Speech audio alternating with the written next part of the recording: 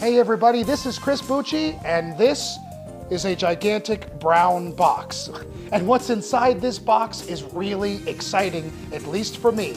If you take a look on the side here, it says Stern Pinball. And above that, you'll see stamped onto the box, Transformers LE. Inside is a brand new Transformers Limited Edition by Stern Pinball, and it's all mine. It is a dream theme, and you are going to go along with me as we crack open the seal and enjoy a brand new game added to my pinball machine collection.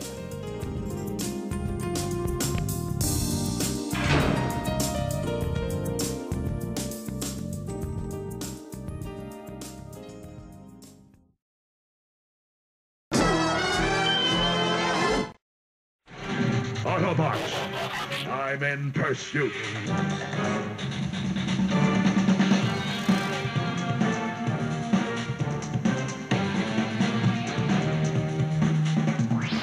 These are Transformers. In fact, these are figures from all different generations of the franchise. Ah, this is what remains of my old Transformers collection. You see, I grew up with what is now called Generation 1, which began in 1984. My earliest memory of getting a Transformers figure was Christmas 1984, and under the tree was my very own Optimus Prime.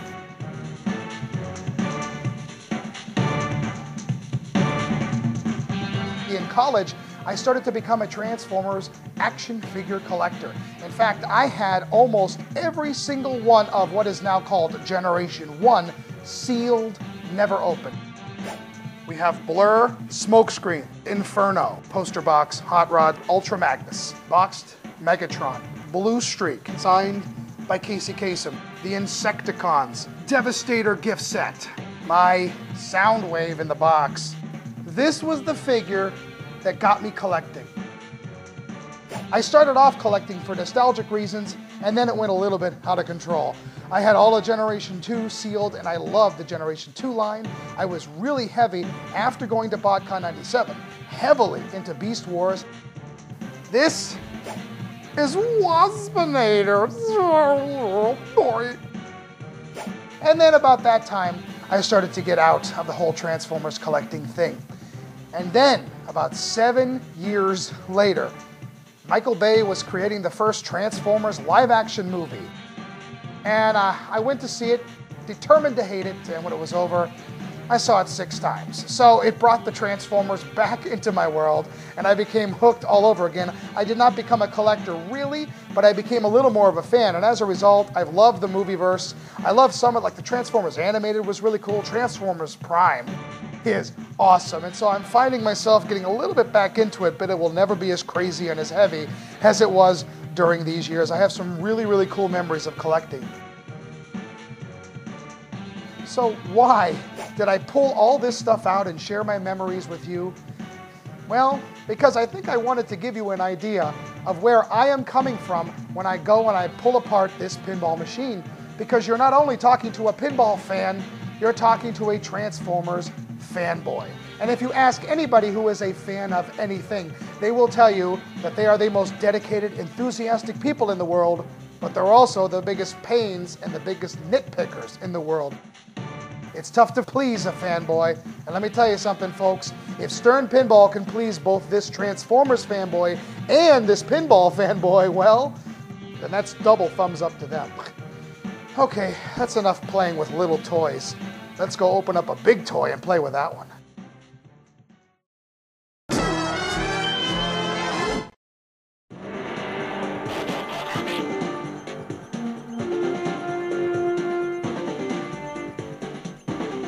This is actually my fifth new in-box game from Stern, and so far, none of the others have been destroyed during setup, so let's see if I can keep up that tradition this time. First, I want to remove a couple of staples and take a quick peek inside. There's a game in there. And act like a goober. Not that I don't trust Stern, but this allows me to verify the correct orientation of the game before laying it down. Then remove the rest of the staples and open the flaps.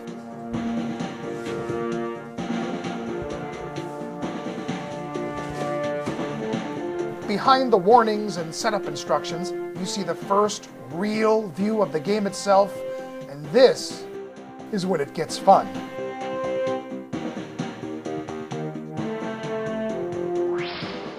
I do notice that the coin door looks blank here, like there should be something there. Huh, I'll have to check into that later. Anyway, it's time to remove the packing material and each of the individual legs.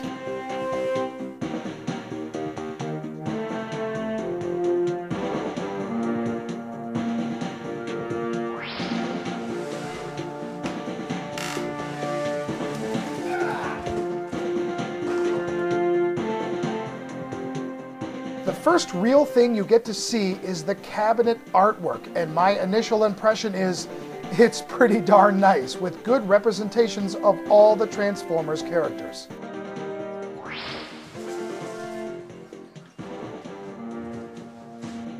Without the legs on the game, there really is no point in having a pinball machine, so let's get this thing on its back and begin the installation. I noticed that the stern cabinet decals here are cut around the outline of the legs versus along the edge of the cabinet. That is an interesting way to apply them, and uh, I hope it doesn't become a problem later on. Anyway, look at the gloss and color of these legs. Wow.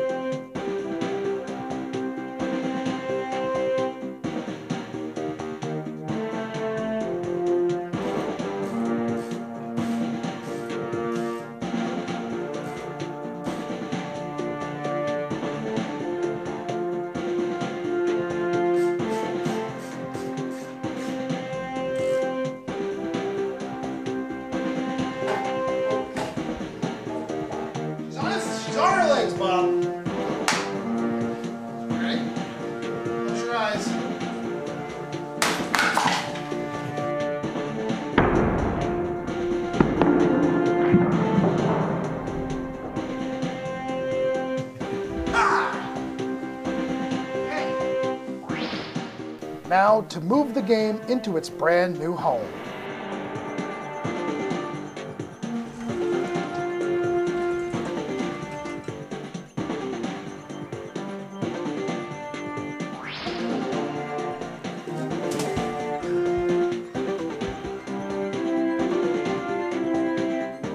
This pinball game, Transformers, is 229 of 500 limited edition production originals. October 2011. Certificate of authenticity. Look at, I don't know if you could, oh, they did the, they did the plaque in split colors too. Can you see that? Look at the plate above the dot matrix. It's split purple and red, just like the game. And it's got a stamp right here, 229 out of 500.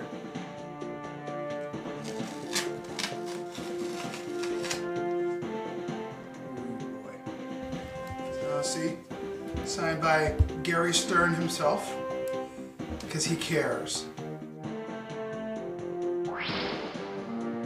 Now to remove the game's keys off the plunger.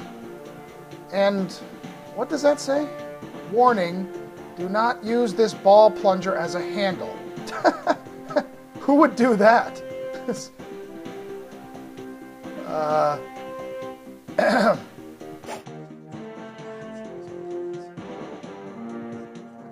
like to go around and make sure all of the connections are solid in the back box. In delivery, you never know what can rattle loose. And then we have some packing material to remove from the playfield itself.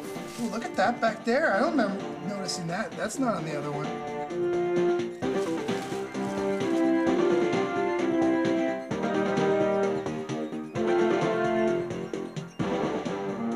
Let's lift the playfield and do some scrounging on the inside and underneath. Oh, I didn't hear anything fall. It's good news. Well, we've got a baggie with uh, an extra construction card and a flasher. He gave us one flasher. That's nice of him. And then, of course, the manual. Uh, and it does not. See that? Terminator 3? There's none of that with this game.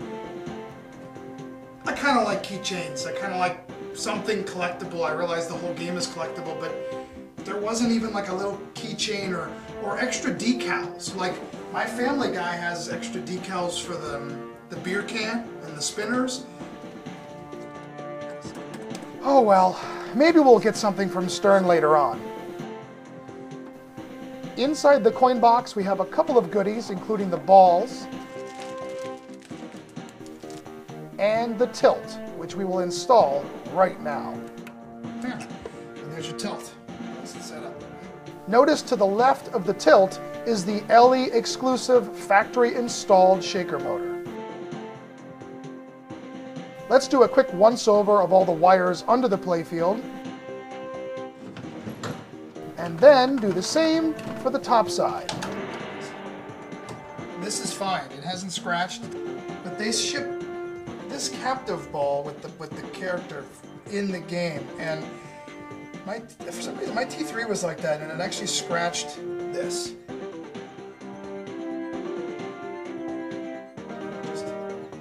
Luckily, everything appears to be fine, so let's unpack the balls, put them in the game, and get moving. Moment of truth, folks. Here we go.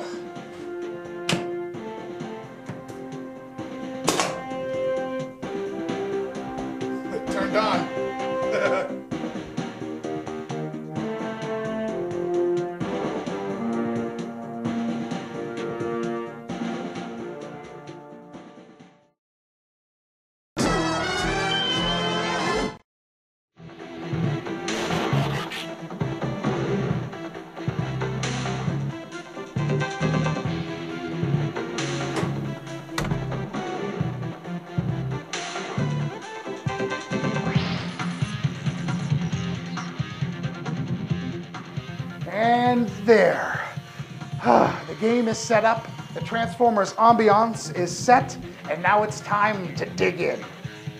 But before we do, I think this would be a great opportunity to tell you about the different versions of this game that are out there.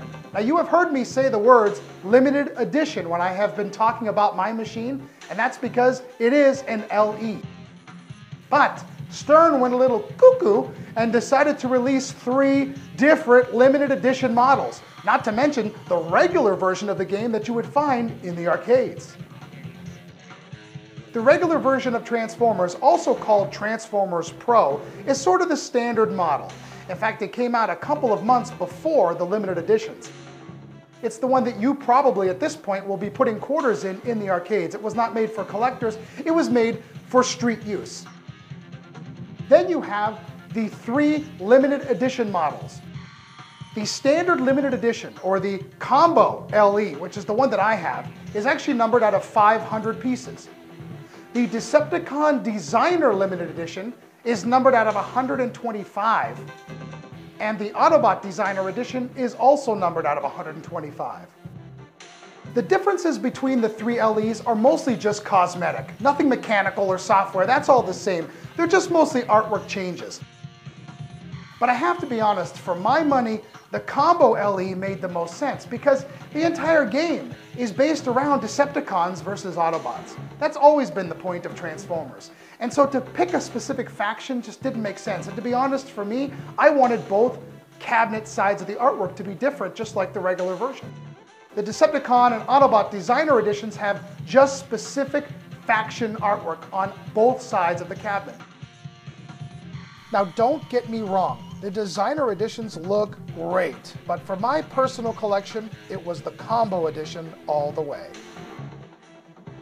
Now, the differences between the Pro and the limited editions are a little bit crazier because the limited editions actually have more gimmicks, more mechanical items, and more software goodies than the Pro edition. Stern lately has been doing that for the collector. They've been making small runs of a game that has a few extra gimmicks. The Tron Limited Edition actually has neon lights on the ramps and a moving recognizer, which is really cool. The Transformers game is a little bit over the top with it because there are a couple of new mechanical items, there was a bunch of new software, there's LEDs in the whole game, and a whole bunch of new stuff. So they really went overboard with the LEs this time. Well, if you've been following this whole thing, I guess my point is there are a lot of versions of this game out there, and the one that we're going to be covering today is the one that I purchased, which is the Combo Limited Edition. Okay, I, that's enough talking. I can't take this anymore. Let's turn this puppy on and let's roll out.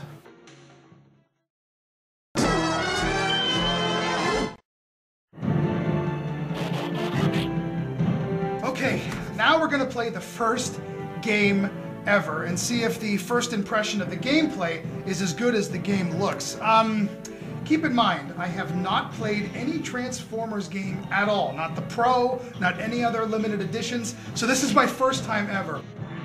You notice it said version 1.0. This is the version that shipped with the game. There is a software revision coming up and a couple of other things. So keep in mind that some things might change as the game is uh, developed in the software. okay, now normally I would go into the test mode and put everything on free play, but since there are coin mechs included with this version of the game, we're gonna do it the old fashioned way, and we're gonna drop in some coins. All right, let's give the game its first play. Here we go.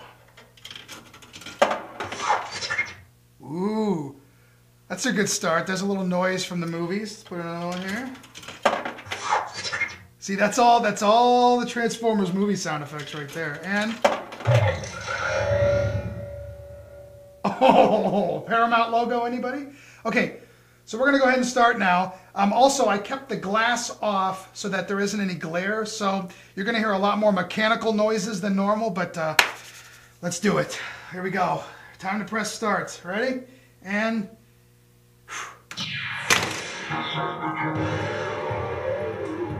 Okay, so just like we talked about, you can choose between who you want to play at the beginning. There's Decepticons and Autobots. Um, I kind of feel like a Decepticon. All right, let's see what we got here.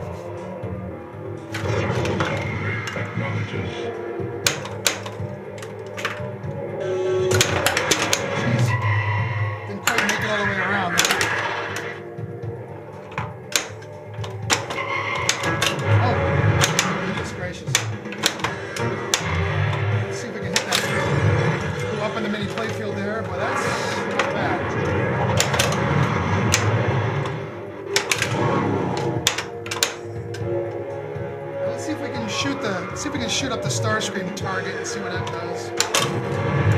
Oh, didn't quite make it. Um, oh, jeez. Well, I wasn't paying attention. I was too busy looking at the lock that I just knocked out. All right, well, that was a pretty crappy way to end that first ball, so let's make this one worth it. Here we go. Goes up in the lanes. Little more than meets the eye music there. All right, let's try Starscream again. It's Ooh, all spark. Before time began, there was the cube. Ooh, thank you, Mr. Cullen. Uh-oh. There we go. Gentlemen, the President is ordered to Sector 7 Got Jon Voight.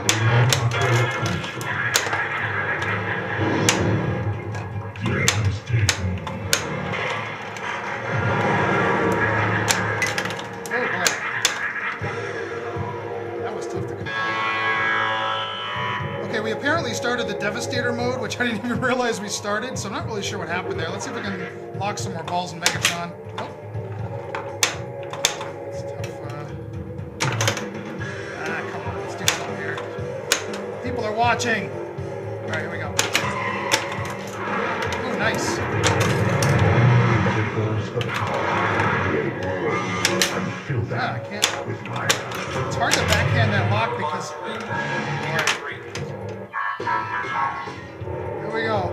Ball. Let's see if we can make something happen.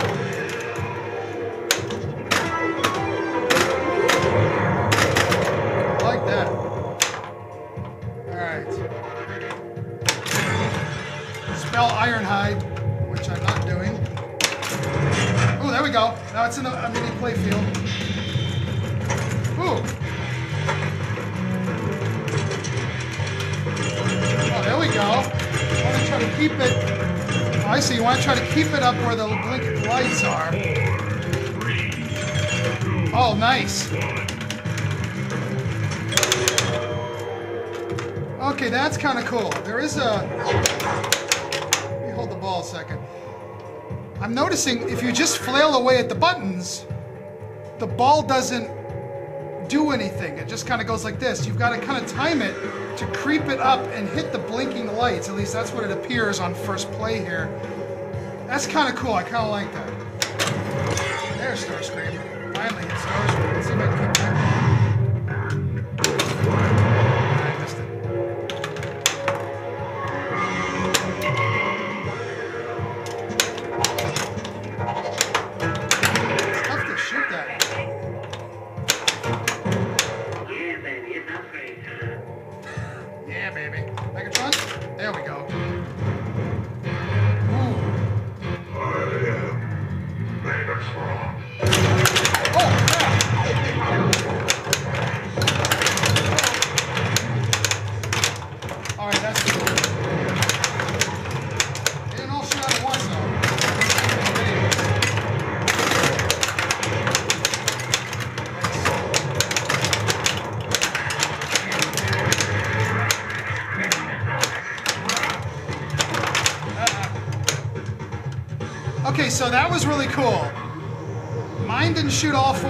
once, though. Was probably just. I'll have to keep an eye on that. They're actually supposed to all shoot out at once. But that's a really, really cool gimmick.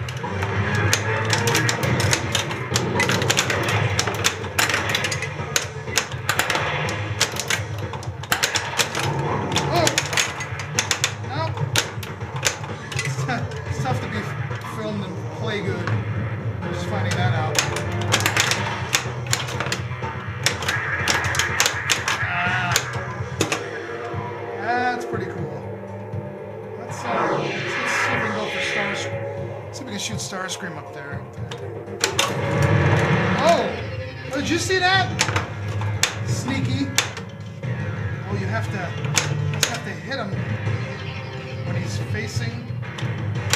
Oh, that is not easy.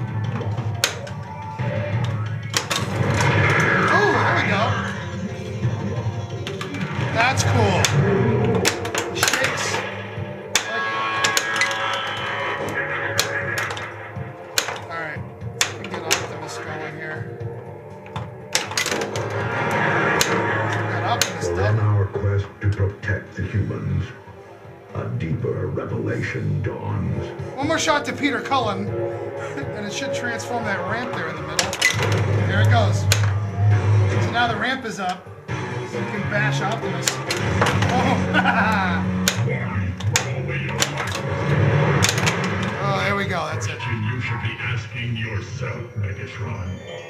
All right, there's that. Okay, so not bad. It's kind of tough when you're got a camera guy over here and he's zooming around to try to like do a good job because there's you feel that pressure. But uh, I got some of the main things going. Um, Mashing Optimus feels good. The Starscream thing is really cool. I like the Ironhide playfield. I mean, I'm hoping they're going to add something more to the rules. Because right now, as it is, it's okay. Um, I don't really have an interest in earning an extra ball or a special. I'm kind of hoping there's going to be some kind of game there. Megatron is really cool. He didn't shoot out the cannon like I've seen him do in other videos. I'm hoping it's just because it was the first time mine worked. But uh, the game looks great. It doesn't have any ball strobing with the LEDs, and uh, it makes me want to play again. So I think we might be okay here. So let's uh, let's dig into this a little bit more. After a couple of dozen plays, I think we'll get a better idea. And uh, let's go.